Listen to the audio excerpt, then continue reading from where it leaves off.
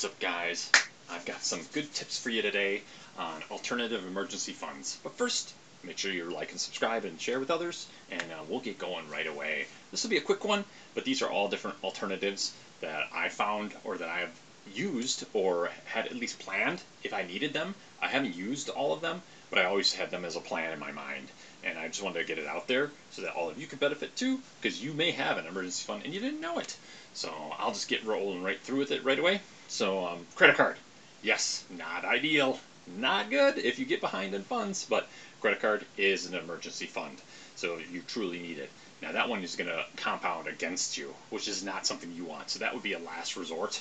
Um, I would use all my other options that I'm going to give you first, depending on what it is. So, but I, yeah, yeah, it would be all these other ones I do first.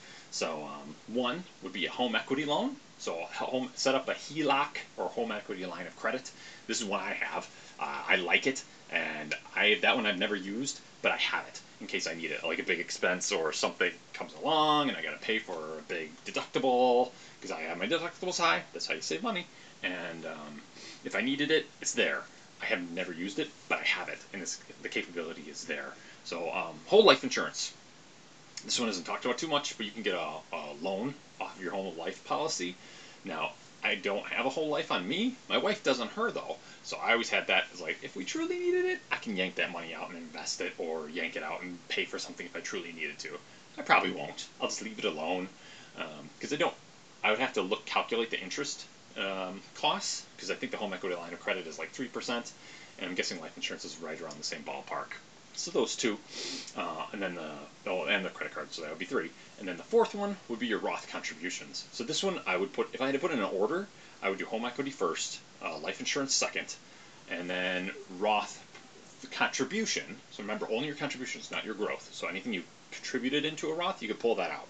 No no charges, no penalties. That would be number three, and then the credit card would be four. So that's that's how I would do it.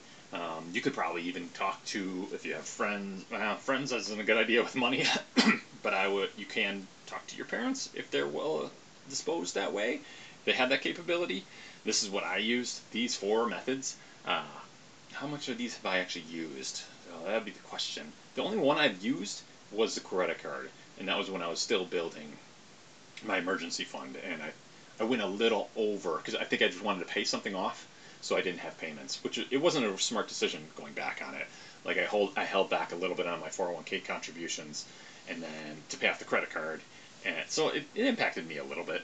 But that's what I did way back in the day. So that's that's. But I didn't have the home equity line set up. I didn't have life insurance, and I didn't have the Roth. So I went to the credit card, and I did, reduced my 401k contributions. So that's what I got for you. Um, I highly recommend going in the order, home equity, home equity, life insurance, Roth, then credit card. That would be what I would say. Uh, and anyways, to continue learning, I recommend checking out my video on getting 11K of free life insurance. So that one is really beneficial, it's really popular, so check it out. In the meantime, keep growing together, share this with others, and we'll be talking later.